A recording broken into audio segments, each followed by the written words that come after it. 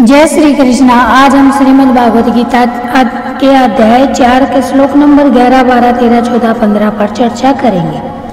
ये यथा माम प्रपादयन्ते तामस्तते भजामय मम वर्तात्मानु वर्तन्ते मनुष्या पार्थ सर्वस्व जो भक्त जैसे मेरी शरण आते मैं भी उनको उसी प्रकार से फल देता हूँ। हे अर्जुन, सभी मनुष्य हर प्रकार से मेरे मार्ग का ही अनुसरण करते हैं। अर्थात में सभी जीवों के प्रति उनके समर्पण के अनुसार ही प्रतिक्रिया करते हैं। अगर कोई व्यक्ति भगवान की शरण में भौतिक सुख संपत्ति की कामना लेकर आता है तो भगवान उसे उसी के अनुसार आशीर्वाद देते हैं।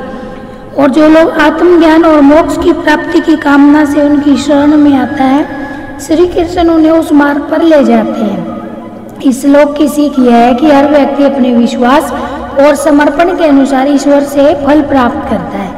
ईश्वर व्यक्ति की भावनाओं और नियत को समझते हैं और उसी के अनुसार उसे परिणाम देते हैं। कांक्षंता कर्मणाम सिद्धिम यजंत यह देवता। शिपिरम ही मानुष्य लोके सिद्धिर भवती कर्मजा। जो लोग कर्मों की सफलता चाहते वे देवताओं की पूजा करते हैं, क्योंकि इस मानव लोक में कर्मों द्वारा प्राप्त होने वाली सिद्धि शीघ्र मिलती है।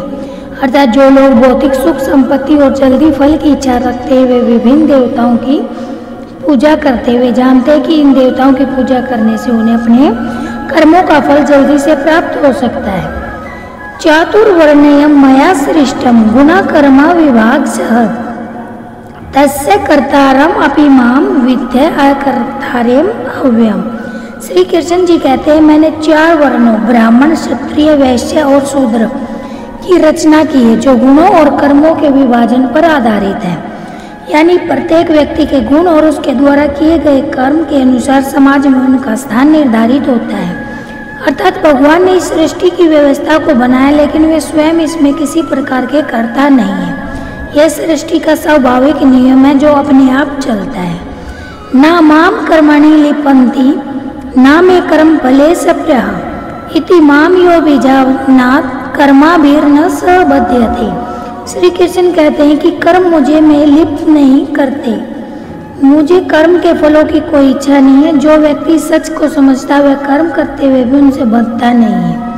अर्थात व्यक्ति भी बिना फल की इच्छा से कर्म करता है और अपने कर्तव्य का पालन करता है। तब वह भी कर्मों के बंधन से मुक्त हो जाता है। एवं ज्ञातवा कृतम, कर्मा पूर्वेर अपि मुमुख सुभिः कुरु कर्मे तस्मात् पूर्वे पूर्वातरम कृतम श्री कृष्ण जी कहते हैं कि इस ज्ञान को जानकर प्राचीन काल में भी मुक्ति चाहने वाले लोगों ने अपने कर्तव्यों का पालन किया है। अतः तुम भी उसी प्रकार अपने कर्तव्य का पालन करो जैसा उन्होंने किया था। यह ज्ञान भी उन्होंने प्रदान किया है। कोई नया नहीं है पहले भी दिया है। पहले भी जो लोग मोक्ष की इच्छा रखते थे, उन्होंने इसी ज्ञान के अनुसार अपने कर्मों का पालन किया और मुक्ति प्राप्त की। श्री कृष्ण अर्जुन को कहते हैं कि उसे भी उसी तरह अपने कर्तव्यों का पालन करना चाहिए, जैसे प्राचीन काल के ज्ञानी और मोक्ष की इच्छा रखने वाले व्यक्ति करते थे। हमारे साथ गीता ज्ञान की खोज में जुड़े रहने के लिए धन्यवाद। राधे राधे।